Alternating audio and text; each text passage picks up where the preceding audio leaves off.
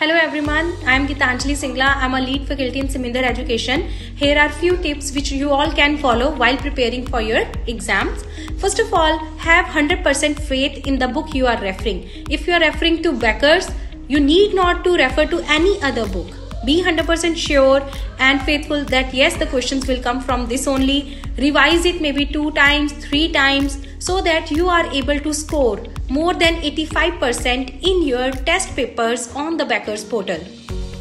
Refer to the lectures very clearly to clear the concepts because same questions you are not expecting in the exams similar questions may come but for that also concept clarity is must handwritten notes can be made for some of the topics but in professional courses you cannot spend maximum time in writing. Your book becker's book should be your bible. So keep on annotating it. Some of the important points you can add some pages to it but that should be everything when you are finally revising. The other important thing in these papers is consistency.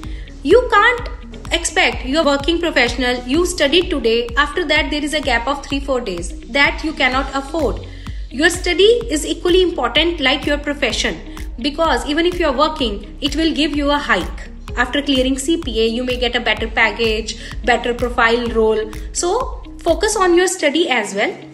Do it daily basis. Even if you are studying 10 minutes or 20 minutes a day, but it's important that you are sitting with your book. That is more important.